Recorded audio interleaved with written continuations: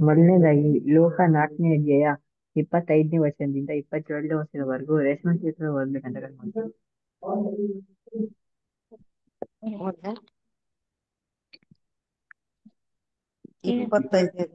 ಎಲಿಯನ ಕಾಲದಲ್ಲಿ ಮೂರು ವರ್ಷ ಆರು ತಿಂಗಳು ಮಳೆ ಮಳೆ ಬರಲಾದ ಮಳೆ ಬಾರದೆ ದೇಶದಲ್ಲೆಲ್ಲ ದೊಡ್ಡ ಬರ ಉಂಟಾದಾಗ ಇಸ್ರಾಯೇಲ್ ಜನರಲ್ಲಿ ಎಷ್ಟೋ ಮಂದಿ ವಿಧಿವಿಯರು ಇದ್ದ ಇದ್ದದ್ದು ನಿಜ. ಆದರೆ ಅವರಲ್ಲಿ ಒಬ್ಬರ ಬಳಿಗೂ ದೇವರು ಎಲಿಯನನ್ನು ಕಳುಹಿಸಿ ಕಳುಹಿಸದೆ ಆ ದೇಶಕ್ಕೆ ಸೇರಿ. ಸರೆ- ಸರಪ್ತ ಊರಿ ಊರಿನ ಊರಿನಲ್ಲಿದ್ದ ಒಬ್ಬ ವಿಧವೆಯು ಬಳಿಗೆ ಮಾತ್ರ ಕಳುಹಿಸಿದರು ಮತ್ತು ಎಲಿಯನಷ್ಟೇ ಎಲಿಸನೆಂಬ ಪ್ರವಾದಿಯ ಕಾಲದಲ್ಲಿ ಇಸ್ರಾಯೇಲ್ ಜನರಿಗ ಜನರೊಳಗೆ ಎಷ್ಟೋ ಮಂದಿ ಕುಷ್ಠರೋಗಿಗಳು ಕುಷ್ಠರೋಗಿಗಳು ಇದ್ದಾಗ್ಯೂ ಅವರಲ್ಲಿ ಒಬ್ಬನಾದರೂ ಸು ಶುದ್ಧನಾದನಾಗದೆ ಶುದ್ಧನಾಗದೆ ಸೂರ್ಯ ದೇಶವನ್ನಾದ ದೇಶವನ್ನಾದ ದೇಶದವನಾದ ದೇಶದವನಾದ ನಾಮನನ್ನು ನಾಮನನ್ನು ಮಾತ್ರ ದೇಶ ಶುದ್ಧನಾದ ಶುದ್ಧನಾದನು ಎಂದು ಹೇಳಿದನು. ಹ್ಮ್ ದೇವ್ರಿಗೆ ಸ್ತೋತ್ರ. ಥ್ಯಾಂಕ್ ಯು ಇಲ್ಲಿ ವಚನ ಈ ವಚನದಲ್ಲಿ ಅಂತಂದ್ರೆ ಹ್ಮ್, ಕಾಲದಲ್ಲಿ ಮೂರು ವರ್ಷ ಮಳೆ ಇರಲಿಲ್ಲ. ಇದರಿಂದ ಬರಗಾಲ ಬಂತು. ಮತ್ತೆ ಇಸ್ರಾಯೇಲಲ್ಲಿ ಎಷ್ಟೊಂದು ಜನರು ವಿಧವೆಯಾಗಿದ್ರು. ಆದ್ರೂನು ದೇವರು ಎಲಿಯನನ್ನು ಅವ್ರ ಮನೆಗೆ ಕಳಿಸ್ಲಿಲ್ಲ. ಆದ್ರೆ ದೇವರು ಎಲಿಯನನ್ನು ಎಲಿಯನನ್ನು ಸೀದೋನ್ ದೇಶಕ್ಕೆ ಸೇರಿದ ಸರೆಪ್ಪ ಊರಿನಲ್ಲಿ ಒಬ್ರು ವಿಧವೆ ಇರ್ತಾರೆ. ಅವ್ರ ಅವ್ರ ಅವ್ರ ಬಳಿಗೆ ಮಾತ್ರ ಕಳಿಸ್ತಾರೆ. ಮತ್ತೆ ಮತ್ತೆ ಎಲಿತಾ ಈ ಎಲಿಸನ ಕಾಲದಲ್ಲಿ ಇಸ್ರಾಯೇಲ್ ಜನರಲ್ಲಿ ಎಷ್ಟೋ ಜನ ಕುಷ್ಠರೋಗಿಗಳಿರ್ತಾರೆ ಅವರು ಎಲ್ಲ ಆ, ಅವರೆಲ್ಲ ಶುದ್ಧವಾಗದೆ ಸೂರ್ಯ ದೇಶದವನಾದ ನಾಮಾನನು ಮಾತ್ರ ಈ ಕುಷ್ಠರೋಗದಿಂದ, ಈ ಕುಷ್ಠರೋಗದಿಂದ ಶುದ್ಧರಾಗ್ಬೇಕಂತ ಹೇಳ್ತಾರೆ. ಥ್ಯಾಂಕ್ ಯು ಜಿ ಈಗ ಶ್ಲೋಕ ನಾಲ್ಕನೇ ಅಧ್ಯಾಯ ಇಪ್ಪತ್ ಎಂಟನೇ ಅಧ್ಯಾಯದಿಂದ ಮೂವತ್ತನೇ ವಚನವರೆಗೂ ಲಿಖಿತ ಸಿಸ್ಟರ್?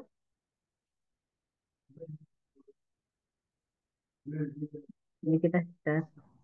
ಹಾ ಎಸ್ ಬ್ರದರ್ ಸಿಸ್ಟರ್ ಲೂಕ ನಾಲ್ಕನೇ ಅಧ್ಯಾಯ ಇಪ್ಪತ್ತೆಂಟನೇ ವರ್ಷದಿಂದ ಮೂವತ್ತನೇ ವರ್ಷದವರೆಗೂ ಓಕೆ ಬ್ರದರ್ ಸಭಾ ಮಂದಿರದಲ್ಲಿರುವವರೆಲ್ಲರೂ ಈ ಮಾತುಗಳನ್ನು ಕೇಳಿ ಬಹಳವಾಗಿ ಸಿಟ್ಟುಗೊಂಡು ಎದ್ದು ಆತನನ್ನು ಊರ ಹೊರಕ್ಕೆ ಅಟ್ಟಿ ತಮ್ಮ ಊರು ಕಟ್ಟಿದ್ದ ಗುಡ್ಡದ ಕಡಿದಾದ ಸ್ಥಳಕ್ಕೆ ನಡೆಸಿಕೊಂಡು ಹೋಗಿ ಅಲ್ಲಿಂದ ಕೆಳಕ್ಕೆ ದೊಬ್ಬಬೇಕೆಂದಿದ್ದರು. ಆದರೆ ಆತನು ಅವರ ಮಧ್ಯದಲ್ಲಿ ಹಾದು ಹೊರಟು ಹೋದನು. ಇವಾಗ ಇದೆಲ್ಲ ಹೇಳಾಗಮಲ್ಲಿ ಸಭಾ ಮಂದಿರದಲ್ಲಿ ಇರೋರೆಲ್ಲ ಈ ಮಾತುಗಳನ್ನ ಕೇಳ್ಕೊಂಡ್ಬಿಟ್ಟು ಬಹಳ ಬಹಳ ಸಿಟ್ಕೊಳ್ತಾರೆ ಮತ್ತೆ ಅವರು ಏನ್ ಯೋಚನೆ ಮಾಡ್ತಾರಂತೆ? ಇವತ್ತು ಏನ್ ಯೋಚನೆ ಮಾಡ್ತಾರೆ ನಾವು ಇವ್ರನ್ನ ಗುಡ್ಡದ ಮೇಲೆ ಓಡಿಸ್ಕೊಂಡು ಹೋಗ್ಬಿಟ್ಟು ಗುಡ್ಡದ ತುದಿಯಿಂದ ಇವ್ರನ್ನ ದೊಬ್ಬಿಡೋಣ ಅಂತ ಯೋಚನೆ ಮಾಡ್ತಾರೆ. ಆದ್ರೆ ಅವರು ಜನರು ಬರೋಕ್ಕಿಂತ ಮುಂಚೆ ಅಲ್ಲಿಂದ ಪಾರಾಗ್ತಾರೆ. ಥ್ಯಾಂಕ್ ಯು ಸಿಸ್ಟರ್ ಈಗ ಲೋಕ ನಾಲ್ಕನೇ ಅಧ್ಯಾಯ ಮೂವತ್ತೊಂದನೇ ವಚನದಿಂದ ಮೂವತ್ತ್ ಮೂರನೇ ವಚನದವರೆಗೂ. Chitra sister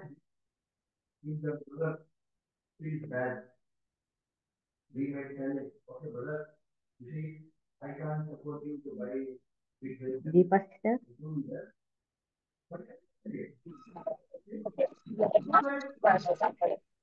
ಸಿಸ್ಟರ್ ಸಿಸ್ಟರ್ ಮನೇಲಿ ಇದ್ದೀರಾ ಸಿಸ್ಟರ್ ಬಸ್ ಬಸ್ಸಲ್ಲಿ ಇದ್ದೀನಿ ಕೇಳಿಸ್ತಾ ಹೋದ್ಮೇಲೆ ಕೇಳಿಸ್ತಿದೆ ನೀವು ಮನೆ ನಾಲ್ಕು ಫೋರ್ತ್ ಚಾಪ್ಟರ್ ಫೋರ್ತ್ ಅಲ್ಲಿ ತರ್ಟಿ ಒನ್ ತರ್ಟಿ ಒನ್ ಇಂದ ತರ್ಟಿ ತ್ರೀ ವರೆಗೆ ತರ್ಟಿ ಒನ್ ತರ್ಟಿ ಒನ್ ಇಂದ ತರ್ಟಿ ತ್ರೀ ವರೆಗೆ ಬಲಿತ ಆಸನ ಕಟ್ಟ ಕಟ್ಟ ಇದು ಗಲಿಲ ಸೇರಿದ ಕರ್ತನಿಂದ ಊರಿಗೆ ಬಂದನು ಅಲ್ಲಿ ಸಂಪತ್ತಿನ ಬದಲಿ ಅವರಿಗೆ ಉಪದೇಶ ಮಾಡಿರಲಿ ಆತನ ಆತನ ಮಾತು ಅಧಿಕಾರವುಳ್ಳದಾಗಿದ್ದರಿಂದ ಅವರು ಆತನ ಉಪದೇಶಕ್ಕೆ ಅಭ್ಯಾಸಪಟ್ಟರು ಆ ಸಭಾ ಮಂದಿರದಲ್ಲಿ ಥ್ಯಾಂಕ್ ಯು ಟೀಚರ್ ಇಲ್ಲಿ ತಮ್ಮಲ್ಲೇ ಏನಂತಂದ್ರೆ, ಇವರು ಗಲೀಲಾಯಕ್ಕೆ ಸೇರಿದ ಊರಿಗೆ ಹೋಗ್ತಾರೆ. ಮತ್ತೆ ಅಲ್ಲಿ ಇವರು ಸಬ್ಬಾರ್ ದಿನದಲ್ಲಿ ಉದ್ದೇಶ ಮಾಡ್ತಿರ್ತಾರೆ. ಮತ್ತೆ ಅವರು, ಹ್ಮ್, ಅವರ ಮಾತುಗಳೆಲ್ಲ ಅಧಿಕಾರ ಉಳ್ದವರ, ಉಳ್ಳದಾಗಿತ್ತು. ಆದ್ರಿಂದ ಜನರು ಅವರ ಉದ್ದೇಶವನ್ನು, ಆಶ್ಚರ್ಯ ಮತ್ತೆ ಉತ್ಸಾಹದಿಂದ ಕೇಳ್ತಿದ್ರು. ಮತ್ತೆ ಆ ಸಭಾಮಂದಿರದಲ್ಲಿ ಒಬ್ಬ ಒಬ್ಬ ಮನುಷ್ಯ ಒಬ್ಬ ದೆವ್ವ ಹಿಡಿದ ಮನುಷ್ಯರಿದ್ರು. ಸಿಸ್ಟರ್ ಈಗ ಲೋಕ ನಾಲ್ಕನೇ ಅಧ್ಯಾಯ ಮೂವತ್ನಾಲ್ಕನೇ ವರ್ಷದಿಂದ ಮೂವತ್ತೇಳನೇ ವರ್ಷದವರೆಗೂ ಮ್ಯಾಗಿ ಸಿಸ್ಟರ್ ಹೇಳಿ brother I speak okay sister throat Sharada sister infection okay okay sister Sharada sister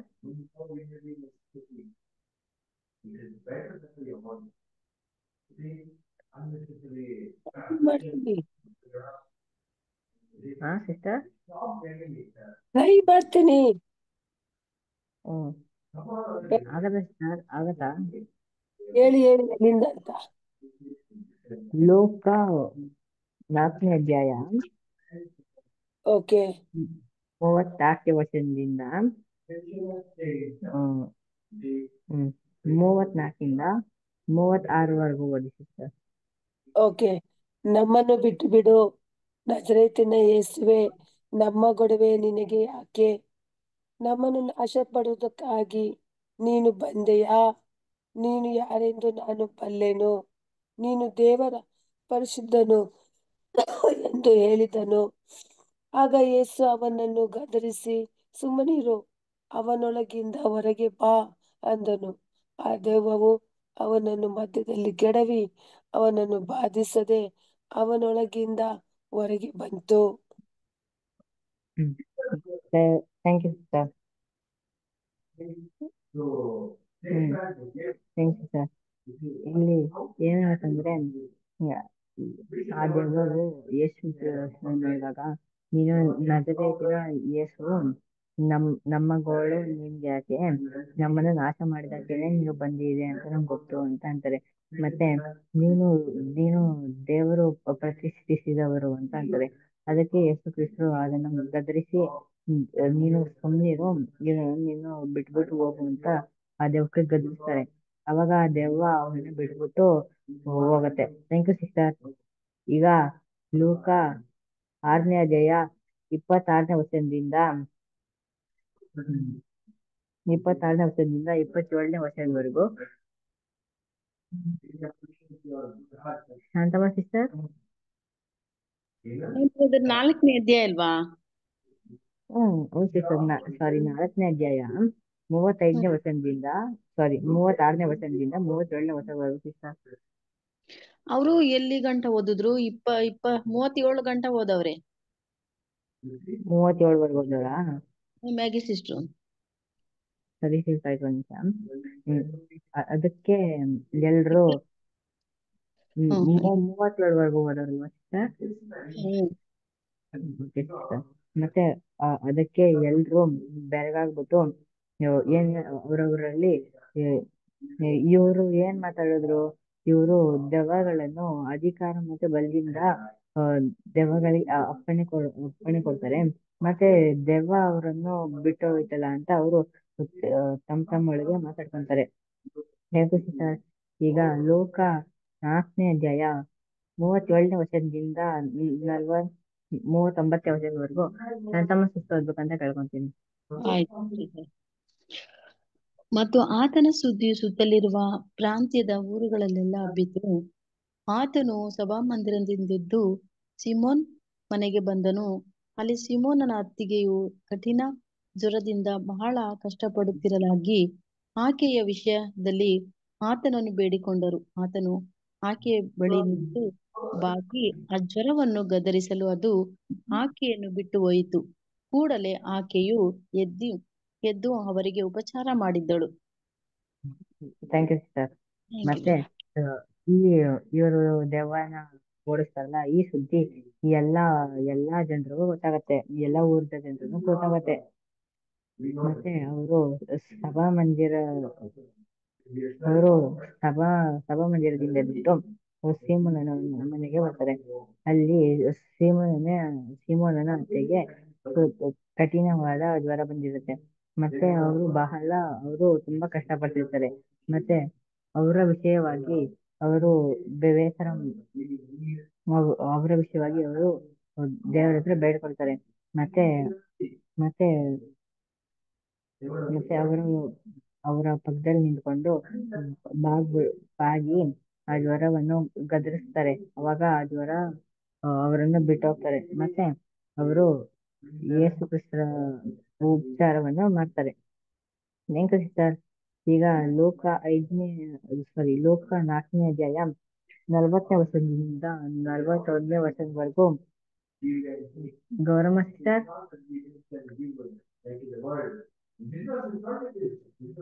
Gowramma sister.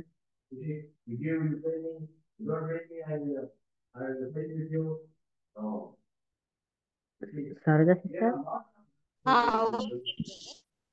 ಮತ್ತು ಮುಣುಗುವಾಗ ಆದದ್ದೇನೆಂದರೆ ಯಾರಾದ ಯಾರ್ಯಾರ ಮನೆಯಲ್ಲಿ ತರತರದ ರೋಗಗಳಿಂದ ಅಸ್ವಸ್ಥವಾದಿದ್ದ, ಅಸ್ವಸ್ಥ, ಅಸ್ವಸ್ಥವಾದರಿದ್ದರೋ ಅವರೆಲ್ಲರೂ ರೋಗಿಗಳನ್ನು ಆತನ ಹತ್ತಿರಕ್ಕೆ ಕರಕೊಂಡು ಬಂದರು.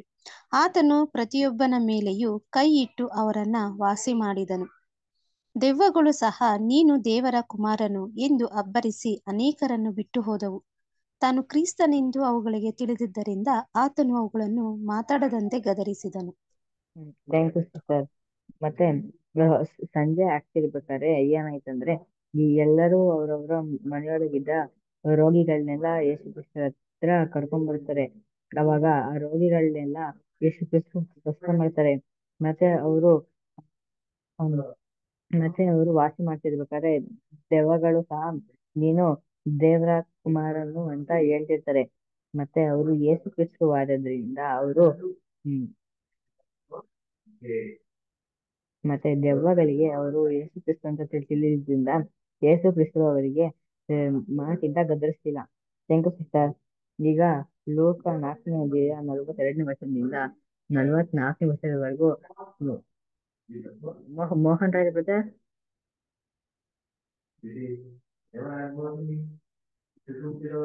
वहां डाल देता है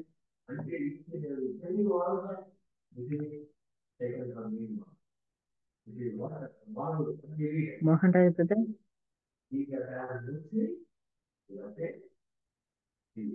So these are the practical ways the science is working in our development. Mohan Raj, brother. Okay. Uh, sister ಲೂಕ್ನೇ ಲೂಕ ನಾಲ್ಕನೇ ಅಧ್ಯಾಯ ನಲವತ್ತೆರಡನೇ ವರ್ಷದಿಂದ ನಲವತ್ನಾಲ್ಕನೇ ವರ್ಷದವರೆಗೂ ಸಿಸ್ಟರ್ ನಲವತ್ತೆಂಟರಿಂದ ನಲವತ್ನಾಲ್ಕ ಹ್ಮ್ ನಲವತ್ತೆರಡರಿಂದ ನಲವತ್ನಾಲ್ಕನೇ ವರ್ಷ ಸಿಸ್ಟರ್ ಹಾ ಓಕೆ ಓಕೆ ಸಿಸ್ಟರ್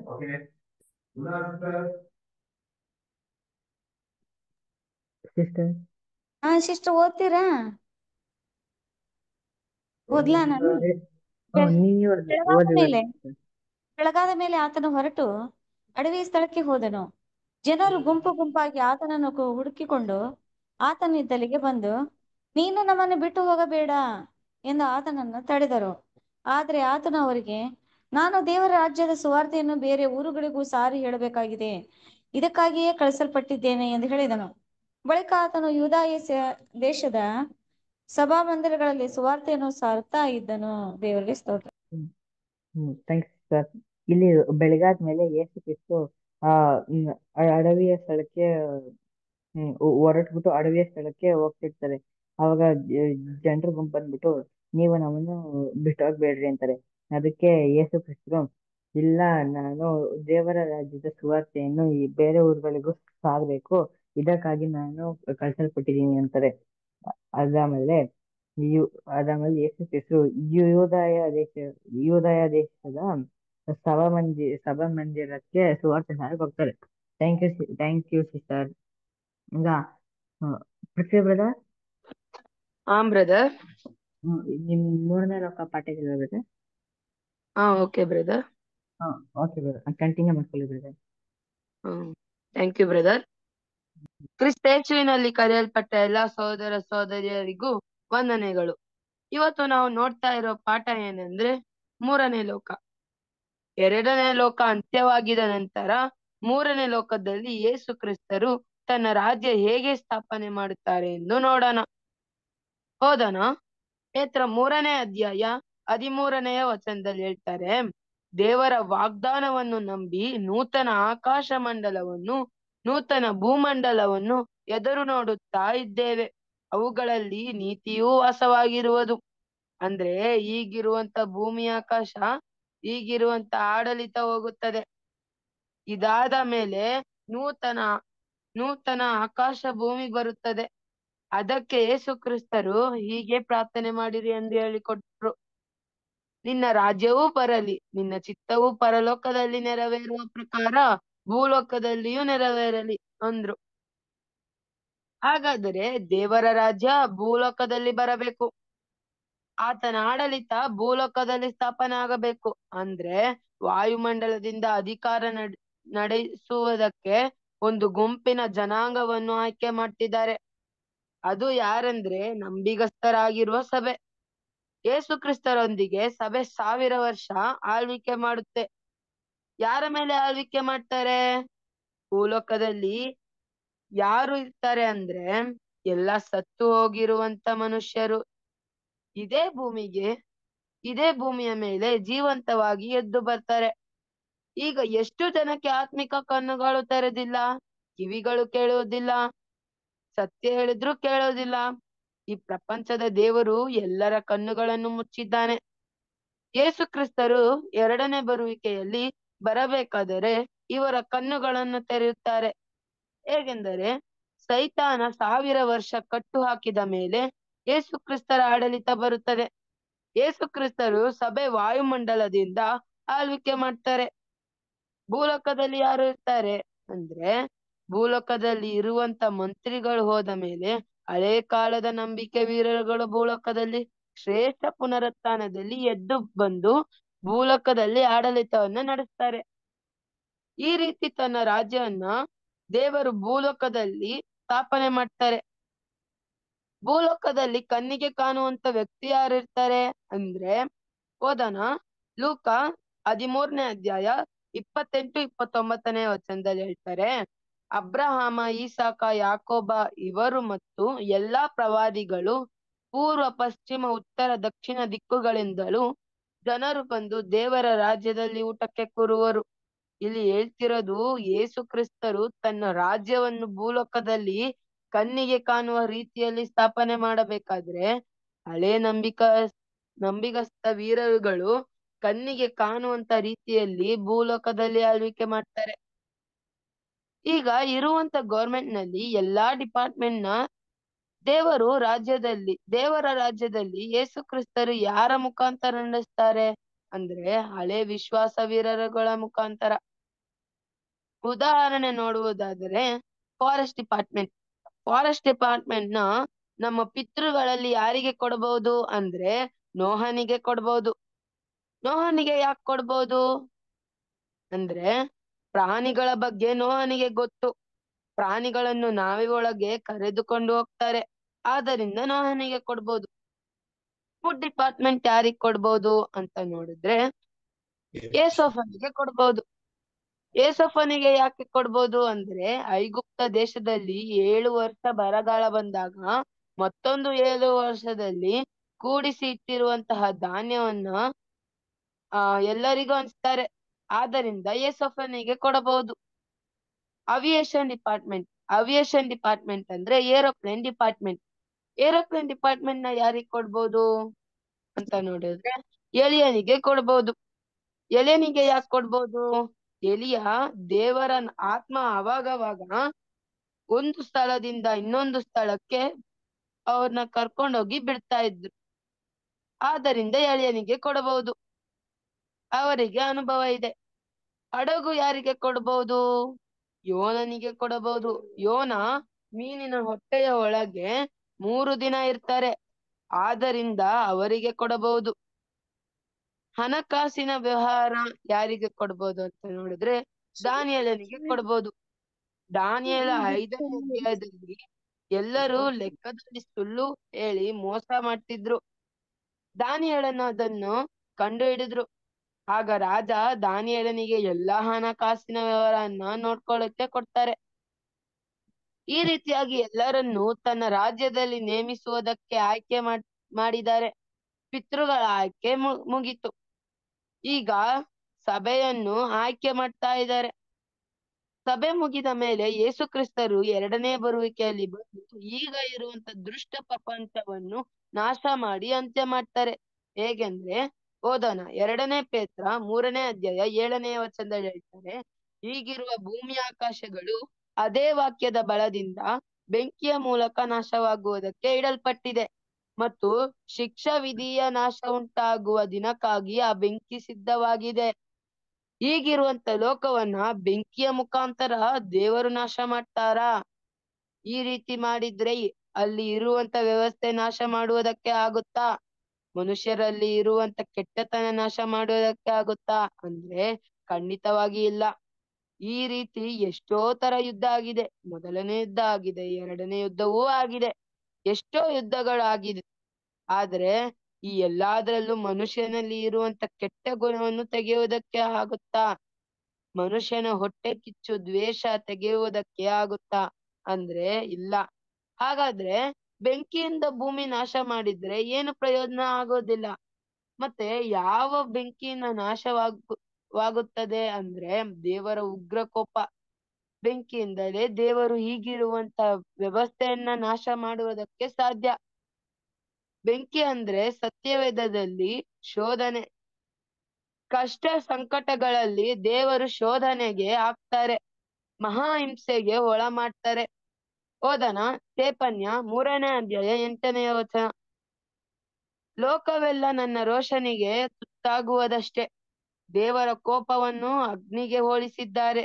ದೇವರ ಕೋಪದಿಂದಲೇ ಹೀಗಿರುವಂತ ಆಕಾಶ, ಹೀಗಿರುವಂತ ಭೂಮಿಯನ್ನ ಎರಡನೇ ಲೋಕವನ್ನು ಅಂತ್ಯ ಮಾಡ್ತಾರೆ. ಇನ್ನೊಂದು ವಚನದಲ್ಲಿ, ಎರಡನೇ ಪೇತ್ರ ಮೂರನೇ ಅಧ್ಯಾಯ ಹತ್ತನೇ ವಚನದಲ್ಲಿ ಹೇಳ್ತಾರೆ, ಕರ್ತನ ದಿನವು ಕಳ್ಳನು ಬರುವಂತೆ ಬರುತ್ತದೆ.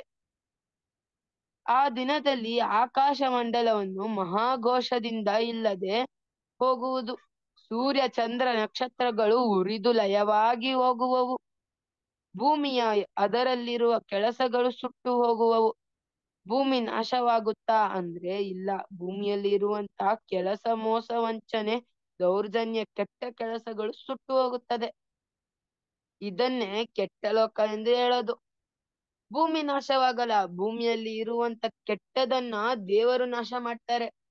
ಓದನ? ಪ್ರಸಂಗಿ ಒಂದ್, ಒಂದನೇ ಅಧ್ಯಾಯ ನಾಲ್ಕನೆಯ ವಚನ, ವಚನದಲ್ಲಿ ಹೇಳ್ತಾರೆ, ಒಂದು ತಲಾಂತರು ಗತಿಸುವುದು, ಇನ್ನೊಂದು ತಲಾಂತರು ಬರುವುದು. ಭೂಮಿಯಾದರೂ ನಾ, ಶಾಶ್ವತವಾಗಿ ನಿಲ್ಲುವುದು. ಭೂಮಿ ಯಾವತ್ತು ನಾಶವಾಗುವುದಕ್ಕೆ ಸಾಧ್ಯ ಇಲ್ಲ. ಭೂಮಿಯನ್ನು ಮನುಷ್ಯರು ವಾಸಕ್ಕಾಗಿಯೇ ಸೃಷ್ಟಿ ಮಾಡಿದ್ದಾರೆ ಹೊರತು ಶೂನ್ಯ ಸ್ಥಾನವಾಗಿ ಇರುವುದಕ್ಕಲ್ಲ.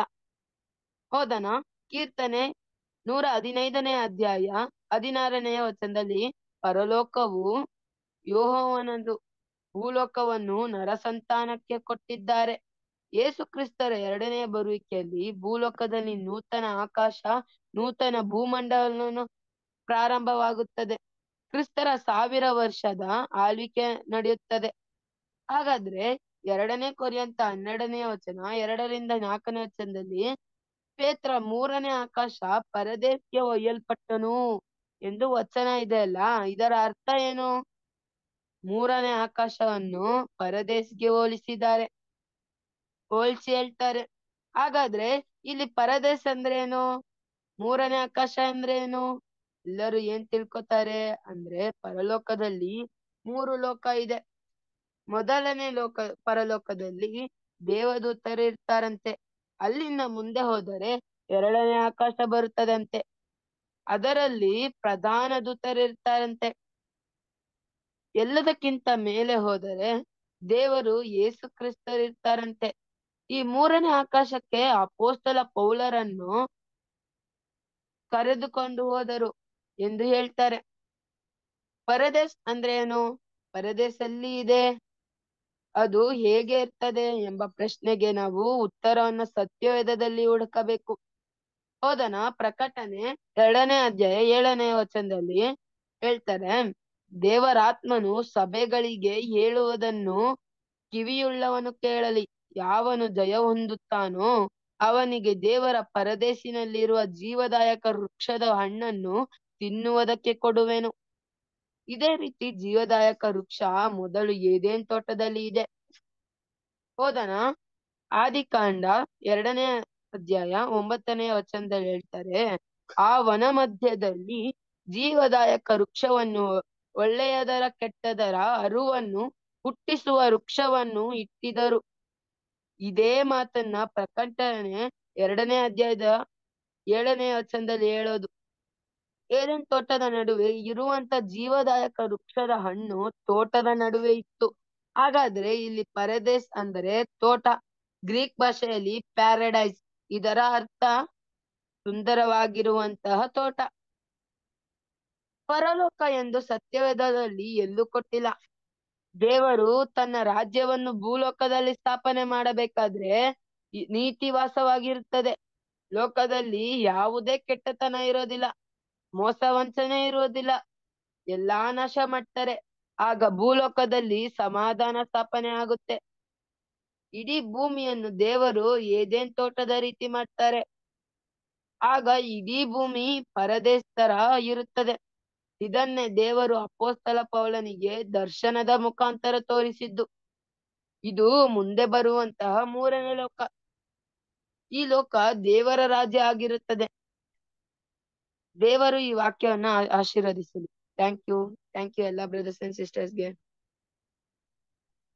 ನಮ್ಮ ಕೊನೆಯ ಪ್ರಾರ್ಥನೆಯನ್ನ ಸರೋಜ ಸಿಸ್ಟರ್.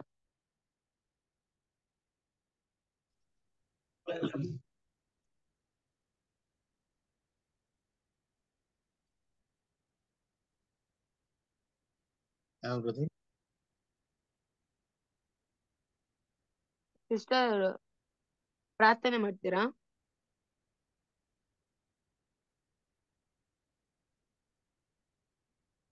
ಮೋಹನ್ ಬ್ರದರ್ ಇರ್ಬೋದು ನೋಡಿ ಇರ್ಬೋದು ಪ್ರಾರ್ಥನೆ ಮಾಡ್ತೀರಾ ಸಿಸ್ಟರ್ ಬೇರೆ ಯಾರಿಗಾದ್ರೂ ಕೊಡಿ. ಮೋಹನ್ ಬ್ರದರ್ ಹಾ ಮಾಡಿ. ಮಾಡಿ ಬ್ರದರ್ ಪ್ರೇಯರ್ ಮಾಡೋಣ ಬ್ರದರ್ ಹಾ ಮಾಡಿ ಬ್ರದರ್